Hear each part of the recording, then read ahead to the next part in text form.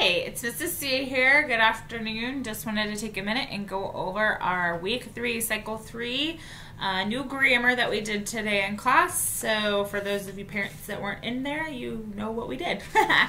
so, the first thing we did was our geography as usual. We switched it up a little bit today and we drew pictures in our states just to kind of help us identify. So, for example, in Columbia, South Carolina, we drew hearts. For Charleston, we drew smiley face.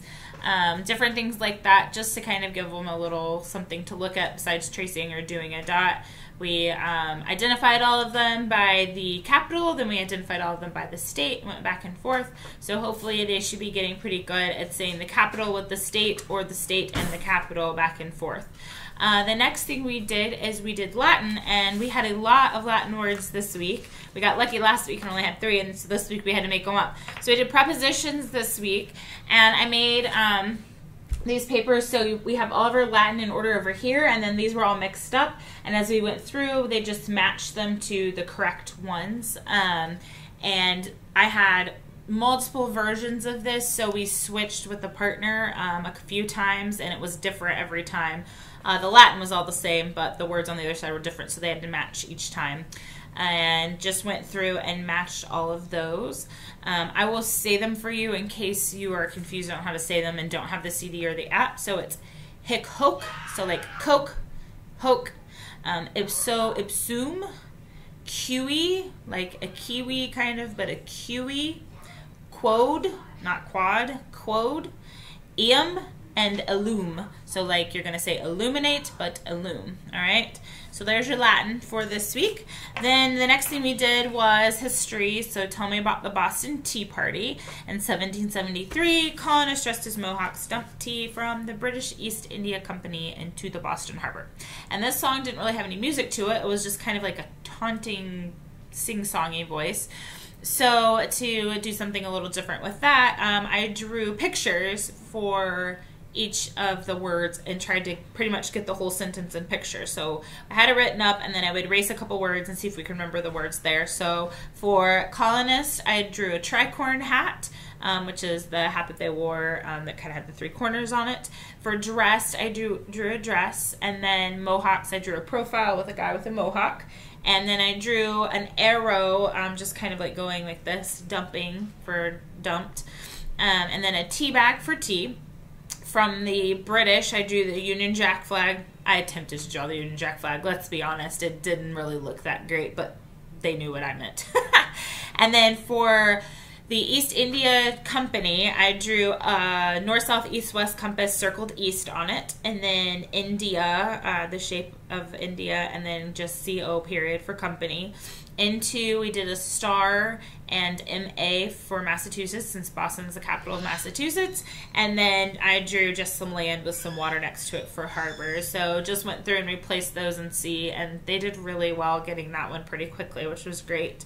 Uh, then we moved on to science. So, science, we have what are the three types of muscle? So, the three kinds of muscle are, stand up for this, have skeletal, so we just kind of stood like you would see a skeleton in a museum, skeletal. And then we have smooth, so just rub your arms smooth, and then cardiac, your heart muscles. Uh, after that, we did a past participle, which was our English, and we did this to the tune of London Bridge. And I had the kids sit and we passed a ball around.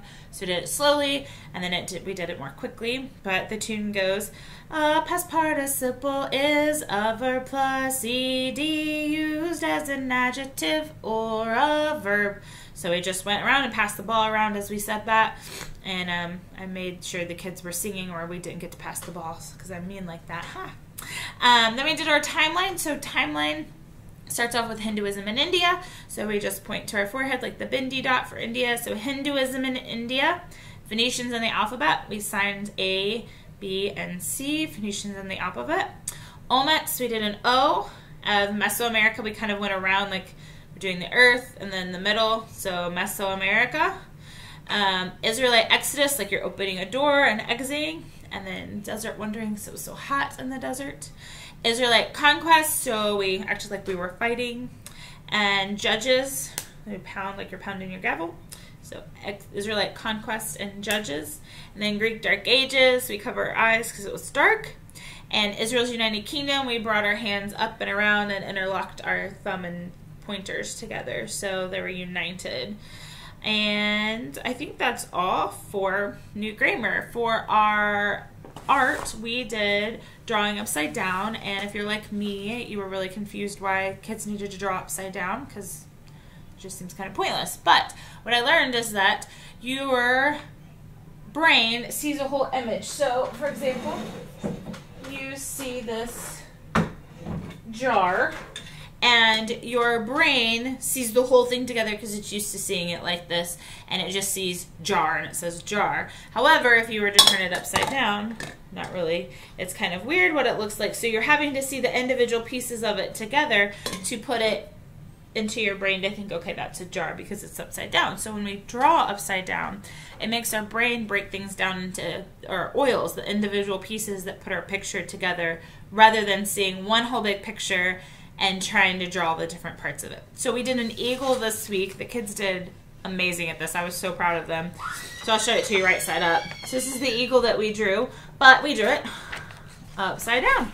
And the kids did a really great job with it. It was really fun to see them trying to figure out what we were drawing. I think some of them got it figured out when we got the beak done, but it took uh, other ones a, a little bit longer, so that was really great. For science, we did fingerprints and we used um, just lead from a pencil and a piece of tape and we're able to do our fingerprints. So maybe you guys want to do your fingerprints for your family that'd be really fun.